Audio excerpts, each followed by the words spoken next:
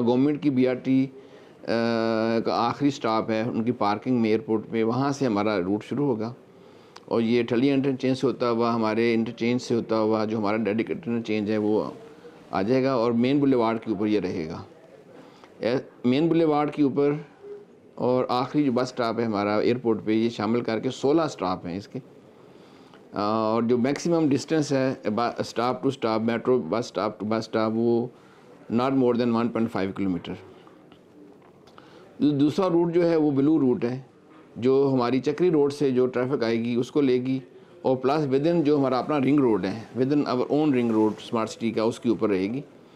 वो जो है, बस सिंगल स्टोरी हैं, और जो रेड रूट हैं, वो डबल डेकर बसें जो आ चुकी हैं, आपने देखी हैं। और ये बसेस हाइब्रिड हैं इलेक्ट्रिसिटी भी है, और प्लस ये डीजल भी हैं। अगर इलेक्ट्रिसिटी कहीं ऑफ़ रोड ख़त्म हो जाती है तो वो डीजल पे वापस अपनी जगह आ जाएगी, वहाँ चार्जिंग हो सकती है। और ये बसेस हाइब्रिड हैं, ताकि हमने तो चूँकि देना है ना इन्वायरमेंट देना है, हमने पोल्यूशन फ्री इन्वायरमेंट इसलिए हम ये इलेक्ट्रिकल बसेस लेके आए हैं विद डीजल ऑप्शन तो ये इंशाल्लाह बाकी बसेस भी आ जाएँगी। टोटल 26 बसेस चाहिए हमें। और इसके अंदर हमने स्पेशली एक सिस्टम ऐड करवाया बस के अंदर, जो कि मैंने यूके में देखा था लंदन बसेस के अंदर। बास बसों में लगा होता है, हर एक में नहीं होता। जिस जिस बस में होता है सिस्टम वहाँ स्टिकर लगा होता है व्हील चेयर का। वो ये होता है कि जब, अगर कोई व्हील चेयर पर कोई मुसाफर हो, बा, वहाँ मोस्टली जो है ना, वो इलेक्ट्रॉनिक व्हील चेयर होती हैं। बंदा खुद ड्राइव कर रहा होता है ना अपने हाथ से।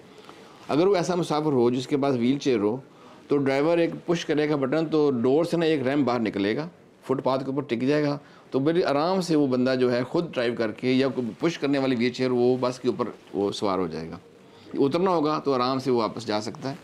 जब वो उतर जाएगा तो बटन से वो वापस आ जाएगा रैम तो उसमें सिस्टम लगा हुआ है, जो कि स्पेशल सिस्टम है, जो सिर्फ़ व्हील चेयर वाले सिस्टम के लिए होता है। तो वो हमने इसमें फ़िक्स करवाया, माशाल्लाह।